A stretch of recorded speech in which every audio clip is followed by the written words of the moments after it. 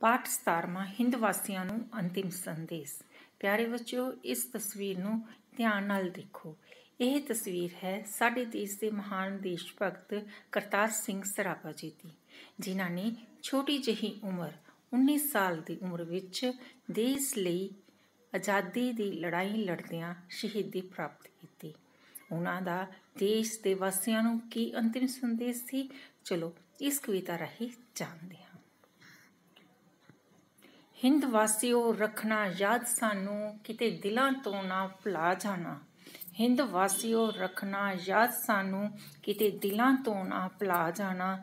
ਖਾਤਰ ਵਤਨ ਦੀ ਲੱਗੇ ਹਾਂ ਚੜਨ ਫਾਂਸੀ, ਸਾਨੂੰ ਦੇਖ ਕੇ ਨਹੀਂ ਘਬਰਾ ਜਾਣਾ।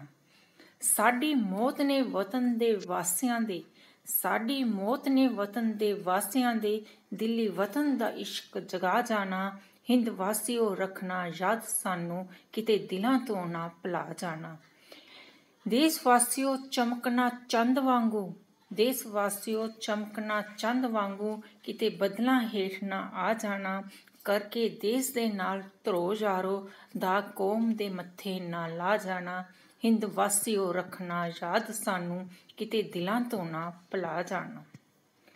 ਮੁੱਲਾ ਸਿੰਘ ਕਿਰਪਾਲ ਨਵਾਬ ਵਾਂਗੂ ਮੁੱਲਾ ਸਿੰਘ ਕਿਰਪਾਲ ਨਵਾਬ ਵਾਂਗੂ ਅਮਰ ਸਿੰਘ ਨਾ ਕਿਸੇ ਕਹਾ ਜਾਣਾ।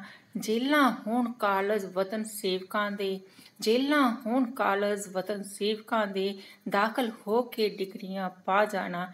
ਹਿੰਦ ਵਾਸੀਓ ਰੱਖਣਾ ਯਾਦ ਸਾਨੂੰ, ਕਿਤੇ ਦਿਲਾਂ ਤੋਂ ਨਾ ਭੁਲਾ ਜਾਣਾ। ਹੁੰਦੇ ਫੇਲ ਬੋਤੇ ਹੁੰਦੇ ਫੇਲ ਬੋਤੇ ਪਾਸ ਥੋੜੇ, ਵਤਨ ਵਾਸੀਓ ਦਿਲ ਨਾ ਢਾ ਜਾਣਾ। ਪਿਆਰੇ ਵੀਰੋ, ਚੱਲੇ ਹਾਂ ਜਿਸ, ਅਸੀਂ ਜਿੱਥੇ। ਐਸੇ ਰਸਿਓ, ਤੁਸੀਂ ਵੀ ਆ ਜਾਣਾ। ਹਿੰਦ ਵਾਸੀਓ, ਰੱਖਣਾ ਯਾਦ ਸਾਨੂੰ। ਕਿਤੇ ਦਿਲਾਂ ਤੋਂ ਨਾ ਭੁਲਾ ਜਾਣਾ, ਕਦੇ ਦਿਲਾਂ ਤੋਂ ਨਾ ਭੁਲਾ ਜਾਣਾ। ਧੰਨਵਾਦ।